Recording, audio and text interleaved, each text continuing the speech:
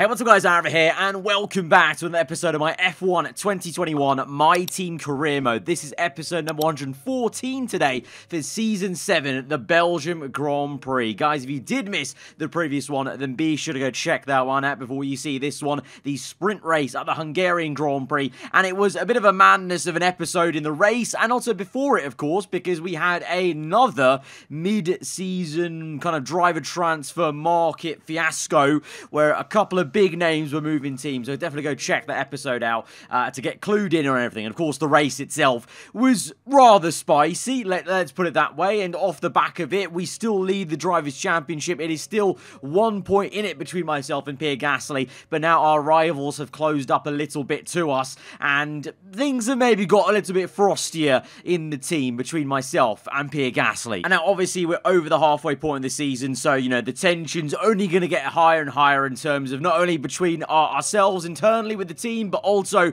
the, you know, our other rivals, Leclerc there, Giovinazzi, Verstappen, all still very much in touching distance of us. So we've definitely got to just keep focused, get our head down, and move on from what happened in the last race at Hungary. And we now come here with a fresh slate to the Belgium Grand Prix. Sunny skies right now, but I believe there is some rain in the air for this race weekend for Saturday and for Sunday. So that's going to spice things up. But right now, Q1 settings, we're going to start off with a fully dry uh, track with the sun out. But I think as we go on through the day, the clouds are going to come in and the rain is going to start. But let's just get through uh, into Q2, hopefully just a formality for us and trying to size up what the pace is going to be like around here for our car versus the teams. You know, usually the, the My Team car goes well around here, but we've had uh, some ferocious, obviously, competition as of late this whole season, so there's no guarantee on that. And so it looks like Leclerc is starting off strong. Lundgaard up there P2, and then Bottas in his new Red Bull Honda, being a bit more comfortable, I guess,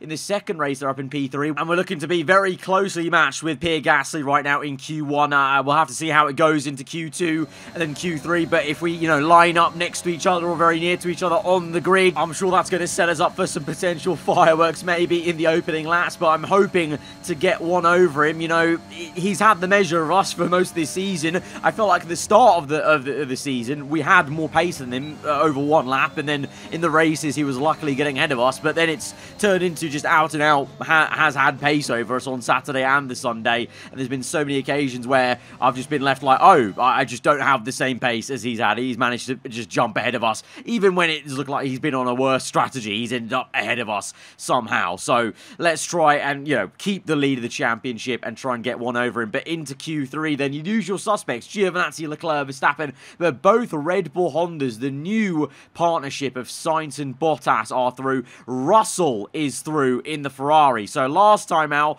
Ocon was the one, you know, in qualifying, at least I know the race went a little bit differently, but for Ocon, he was massively improved with the Ferrari last episode. Potentially that was, you know, seeing Russell come in and feeling the threat, but now seems like Russell's got to grips with the car and showing why Ferrari maybe signed him mid-season to try and drag that Ferrari back into some points as they try and clamber up the Constructors' uh, Championship order, obviously, from, uh, you know, their staple, you know, bottom three, well, you know, likes with uh, Mercedes and uh, BMW Sauber. We're now into Q3. As you can see, it's still sunny then in this last part of qualifying. So this is the lap for this session for everyone. It's effectively going to be like a one-shot qualifying because when the rain comes down, obviously the track's just going to be slower. So uh, this is it. We've got to try and nail it as we go through the final corners. It's a pretty good exit, actually. Not a lot of wheel spin. And across the line, P4 ahead of Gasly. Behind Russell, though, in the Ferrari. And Verstappen there. And you can see it's very doom and gloom now. Overcast. The clouds are coming in. And you can see now that rain, 20%. It's here. It is starting to rain. And so that was it. In the end, I think some uh, one other person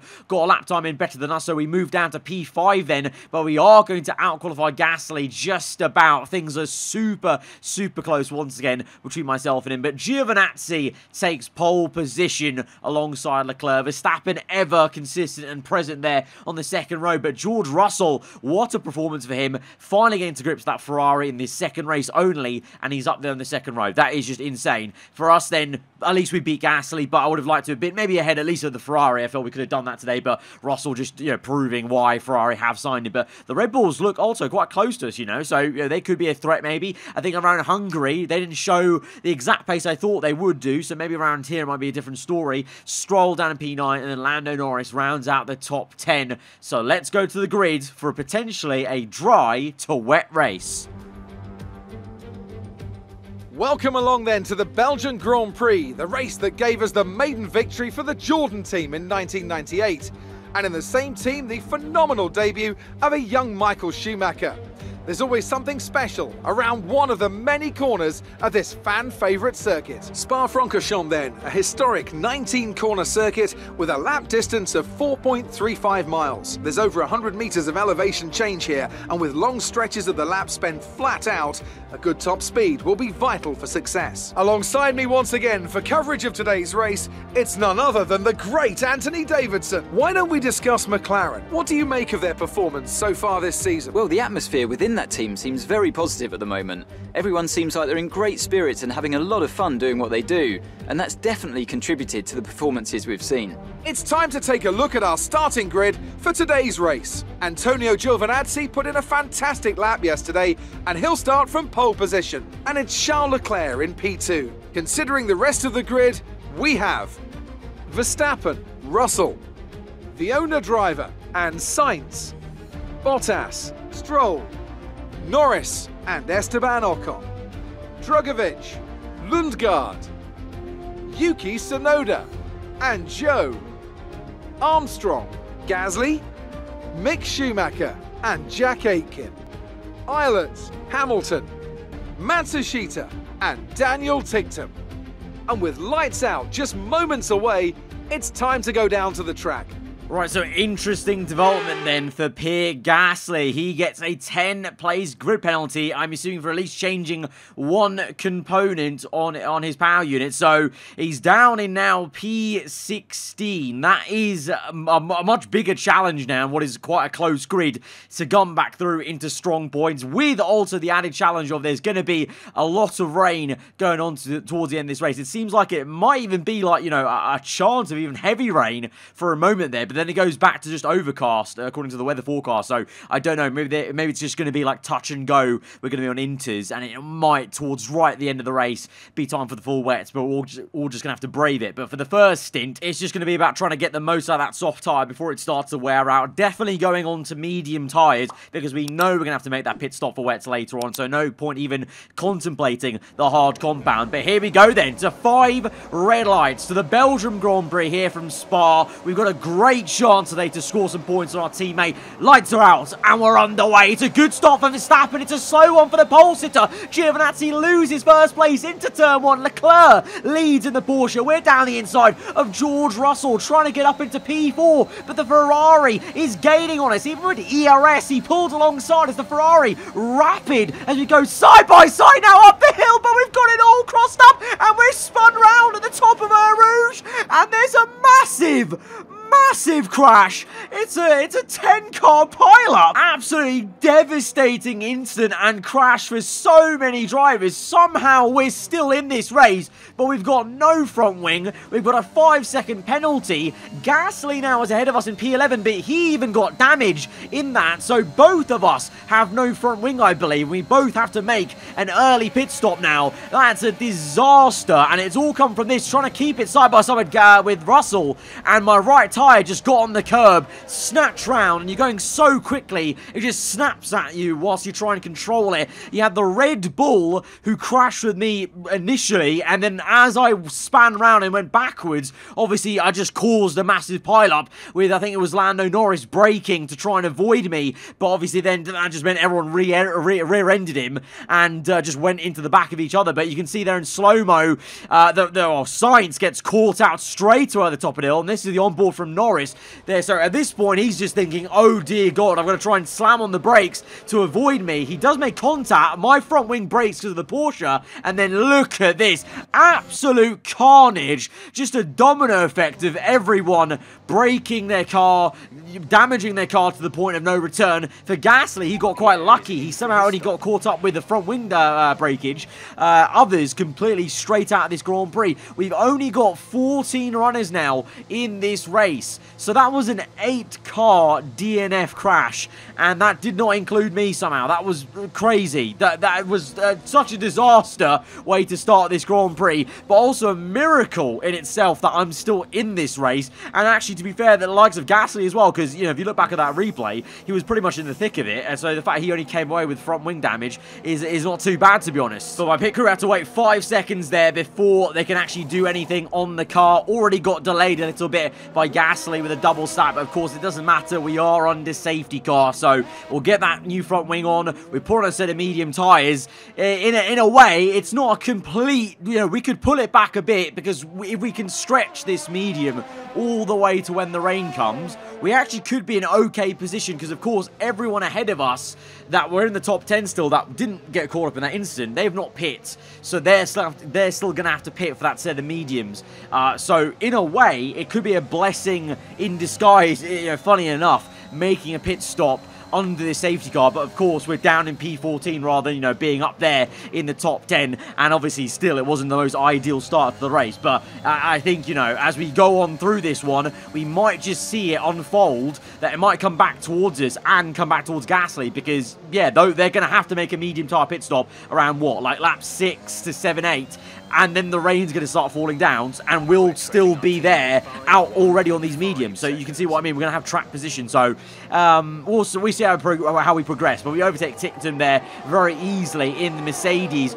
up the road on that same lap. Then Tsunoda versus Valtteri Bottas there, and the McLaren trying to make an overtake work on the outside to the inside for the next right-hander. It's a really good scrap between these two. The Japanese driver has the advantage of the racing line on the inside there, but the Finn's doing really well to keep his car round the outside. Gasly is getting caught up into that, and also Hamilton, and this is backing everyone into me. And there we are in the background there. We've joined the party. We've joined this train. Gasly now goes for a late lunge down the inside of Pouon.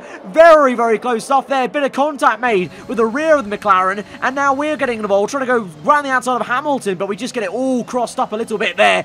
Too deep, not enough grip to go round the outside and keep it tight on the line to actually make the overtake. So instead, we still look at the back of the Ford Performance car, but I can sense we can get Hamilton here probably as we go through towards Blanchimont on the right-hand side. Can we just do this uh, with a, a pure drag race? Uh, Hamilton places his car very well uh, in the middle of the circuit to block us off, but now can we get a move done into the bus stop chicane as it's already getting overcast here, so confirmation very much the rain is going to be on the way. We give Hamilton a good old squeeze on the inside and get the move finished up on the exit, although I thought I would, but Hamilton comes back at me. Again, even though I'm using, using ERS, some of these guys getting such better traction out of these corners here. I don't know what it is with the AI. They're just pin perfect sometimes uh, at certain circuits when it comes to the acceleration out of corners. But we're able to maintain that, thankfully, to turn one ahead of Hamilton. Further up the road, uh, Tsunoda not really battling Bottas anymore. He's kind of backed into to Gasly. Gasly now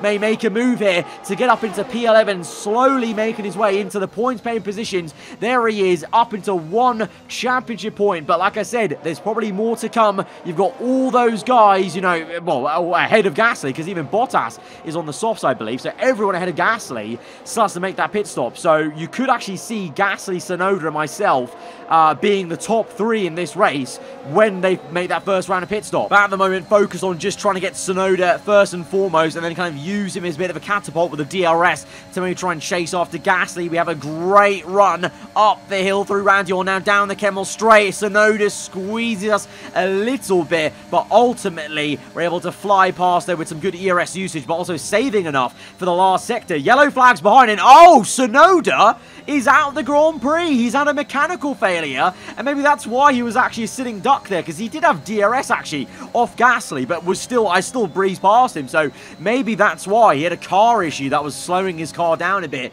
in a straight line maybe, and ultimately he's had to retire. So, uh, you know, a high attrition rate in this Grand Prix. We've had how many, like nine DNFs now in this one, and now you can see that first round of pit stops have been made. You've got Bottas fighting Guan Yu Zhou for the race race lead right now. Those two, though, still have to make their pit stop, in. they're both on the soft compound, but we're catching Gasly now, and this could be the fight for P1 3-1 on track here because once these two get out of our way ahead of us, it'll be me versus Gasly. So this is, oh, after what happened at Hungary, this is going to be intense if myself and him are battling toe-to-toe -to -toe straight away at the next round for the race win here at a slippery Belgium Grand Prix. We're trying to now slip round down the inside at the bus stop chicane. The rain is out and it's very slippery out there as I lose the back end as Hamilton overtakes us. He's up into P3 and he's here legitimately as well as we get it.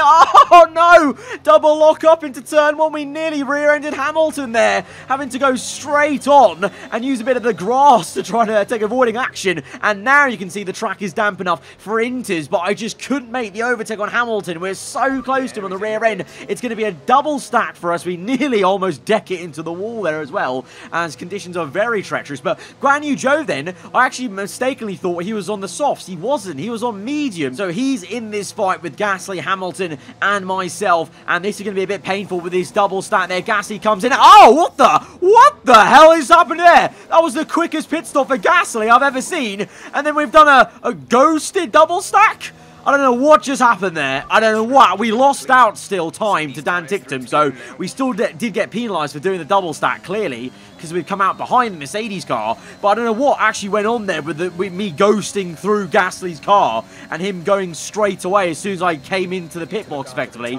Never seen that. Bit of an odd glitch, but we'll move past it. We're going to try now re-overtake the Mercedes car that we lost the position to, but it is indeed Guan Yu Zhou in the lead of this race. Then it's Hamilton in P2 because Gasly, I don't know, I don't know what happened, but he got jumped in the pit stops or Hamilton just overtook him straight away and we haven't seen it. But Gasly's down to P3. Hamilton in a lofty P2 position right now in tricky conditions, doing very well in the Ford. But you can see now all those guys who did not make a pit stop under the safety car, even though they didn't get caught up in that crash, they're behind us. They got penalised for not making the most of that safety car because now Giovinazzi, the highest man there, P6, Leclerc P7, uh, Verstappen 8, Russell 9th, and then Schumacher 10th, I believe. So this is a very interesting fight for the race lead. Guan Yu Zhou, the Williams, defending against Hamilton, but he's locked up a little bit. He's gone wide. Hamilton down the inside. Very tricky conditions. Easy to make mistakes. And is Hamilton going to show his class and show that the form is temporary, but he's still got it maybe to win this race even because he's side by side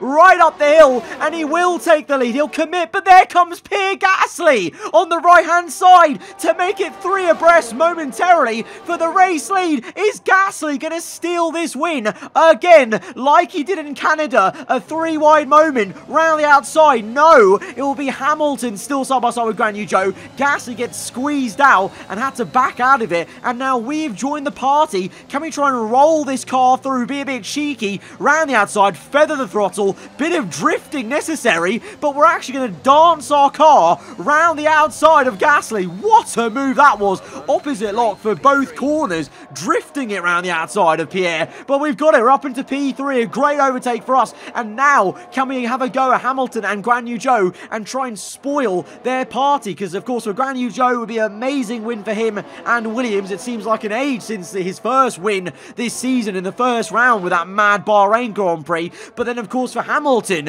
what a story that would be if he could win this race. Of course, you know, he's been out of form all series. We've had glimpses of his revival in this Ford car, but can we spoil the party? We're pressurising Hamilton. Guan Yu Zhou's actually pulling away, looking to try and solidify his race lead. But oh, up the hill! No, he's lost the back end. He lost the back end. He's crashed. He's crashed at the top of the hill. Oh, we've got a puncher. We've got a puncher of uh, Guan Yu Zhou's debris damage. I can't believe it. I cannot believe it. We've got a puncture from his crash. A bit of his front wing or something must have been on the ground, and we've gone over it. And so just like the Canadian Grand Prix last season, we've got a puncher from just debris, and we've got rear wing damage now, because at the top of the hill, the puncher happened, but it, it all happened so quickly. Just a subtle turn, span the car, just like that, and I span it high speed into the wall, and it's damaged my rear wing. So we've gone from maybe challenging for the race win, I thought, it's all come crashing down again. What a calamity of a race this this started with and now has become again. If, you know, we went from the bottom to the top to the bottom again, all in one race. And this is the rear end view. Look at that. Just up there. Literally, that must have been debris. And then that's the, there's that spin, that subtle little tiny jink. And obviously, with the puncher, it's just going to spin the car around. But look at the, the bottom left there. There you go. There you can actually spot that little bit of the front wing end plate, I think, of Yu Zhou. That's what gave me the puncher. So I've hobbled back to the pits. We're under safety car because that was a big crash for Yu Zhou. And we're last place in this race, but last place is P12. So to be fair, by the time we come in for this very slow pit stop, because uh, the, the game does just doesn't know how to speed me up in the pit lane with the puncher and the auto speed uh, limit limiter there. So it's a very slow journey down to our pit box. This is really painful, but thankfully on under safety car, even now, we still have a chance of maybe some points at least to limit the damage now to our rivals who are now all ahead of us. Gasly, Giovinazzi, Verstappen, Leclerc, all of them and, and the above, all ahead of us now um, because because of that incident. So, but we are going to have a chance to at least limit the damage. Maybe, you know, could we try and overtake Bottas and Stroll and get at least one or two points here? We'll see. Rear wing damage, yellow rear wing. Uh, we've had it before and it's been somewhat okay. Like, it's not as bad as you think. Obviously, if there was more damage, it would be probably a lot worse. But yellow, it means it's the rear wing's been damaged a bit, but it's still obviously kind of intact. And it's just going to give us a little bit of a floating feeling into every brake zone. Probably more on the rear end when we're trying to get the power down. It'll just be a little bit oversteering, maybe a little bit floaty in some of those high-speed corners. But we go again then. Green flags, three laps left. What can we do? Can we try and get two positions to get us one championship point just for a little bit of damage control at all right at the end of this one. The rain is really coming down quite thick. For sure, if this race continued on for more laps, it would be time for the full wet tyres, I think, past the checkered flag as we look to make a move on Bottas cheekily, trying to slip one down the inside. Easy does it, pushing wide up into P11, and we're having to be quite harsh with the defence there and squeezing him out because I, I know I don't have the same amount of downforce now on the rear end. And by the way, as we enter the second last lap of the Grand Prix, Lewis Hamilton, you, you would have maybe uh, guessed then, leads this race. And with only two laps to go, surely he's got a great chance of winning this race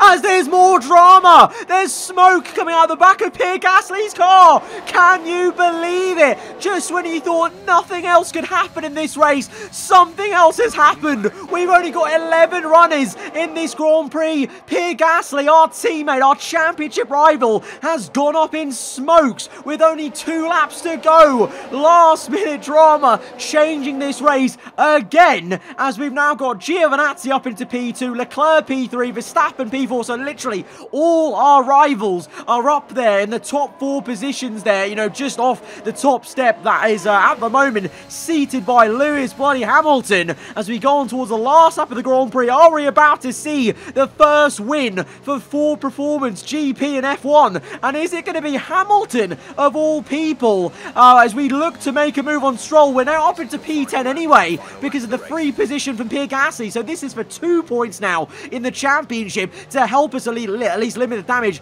to Gio, Leclerc and Verstappen. At least we've been helped out by the fact that Gasly, we won't lose points to him now. We're going to gain points on him. Two points to be exact as I think P9 is going to be the highest position we can get as we go into the last stage of this race. The half, half a lap left, if that, one sector left. And look at this though. Giovinazzi is right up the gearbox of Hamilton. Giovinazzi's got way more pace, it would seem.